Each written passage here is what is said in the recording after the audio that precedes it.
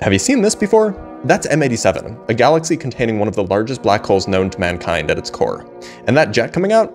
Yeah, it's coming from the black hole. And I'm going to tell you how. It's called the Blanford-Znajek process. And this is the hardest video I've ever made. So active black holes have accretion disks. These are those rings of glowing matter that surround black holes in all of the pictures.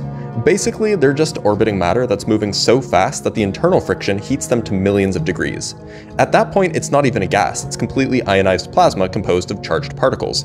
And charged particles moving in a circle make a magnetic field. This is called the dynamo effect. In particular, the magnetic field runs through the center of the accretion disk, passing right through the black hole. At this point, we can forget about the accretion disk and just think about the magnetic field that it produces. Most black holes are rotating, and what that means is that they have a so-called ergosphere. I have a video linked in the description on this that goes in more detail, but to summarize, a rotating black hole drags space around it. The ergosphere is just the region where space is being dragged so quickly that it's impossible to not move in the same direction as the rotation of the black hole. And the magnetic field can't escape this fate either. What was once a magnetic field pointing up through the axis of rotation of the black hole now spirals upwards. But as a consequence of this upward spiraling behavior and Faraday's law, there necessarily must be an accompanying electric field, well, more precisely a displacement field, but don't worry about that.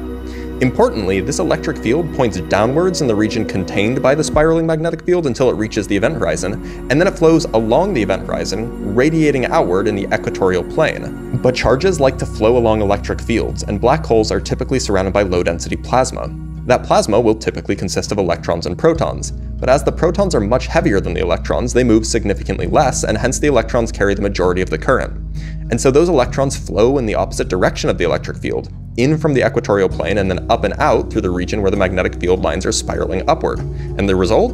A jet. Now the Blanford-Znajek process is not actually the only process that might contribute to jet formation around supermassive black holes. There's a similar process that occurs strictly in the accretion disk and doesn't require an ergosphere called the Blanford-Payne process. But that's a story for a different time.